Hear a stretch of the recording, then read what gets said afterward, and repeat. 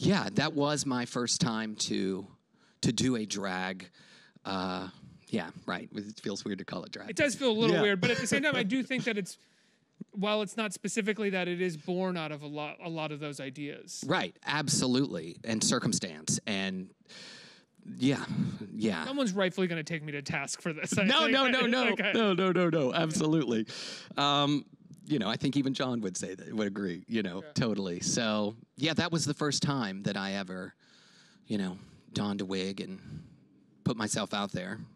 What was it? I mean, I I, I want to ask again what it was like seeing something like Hedwig for the first time because I remember when I saw Hedwig the movie that was my first experience of it in Massachusetts. It was at like a local art house theater, and it bel- I was fourteen or fifteen, and it mm-hmm. blew my mind. I just didn't know that you could make movies that transgressive, that they could be that hilarious and that sexy and weird, and it made me go watch John Waters and all these other incredible It artists. opened a whole door. Exactly. Yes. No. I mean, it it changed my life seeing that show. It really did. And being able to play that role completely changed my life. I can't imagine the person that I would be or the actor I would be had Hedwig not come into my life.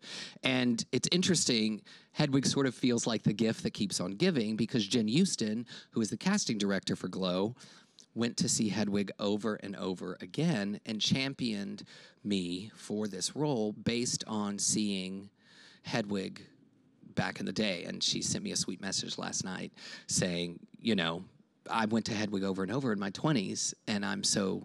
I'm so grateful because I'm constantly thanking her, saying, Thank you, thank you for this role, thank you for this opportunity. What can I do to thank you? Um, and she said, Well, no, you know, it's not the sweetest thing. Thank you for, you know, doing Hedwig and being a part of that history. And it's, it's really, there's magic around Hedwig and the Angry Inch.